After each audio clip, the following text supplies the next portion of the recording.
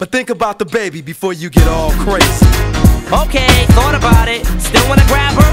Kick her out the house? Get your daughter and kidnap her? That's what I did. Be smart. How in the hell you gonna tell this man not to be violent? Cause he don't need to go the same route that I went.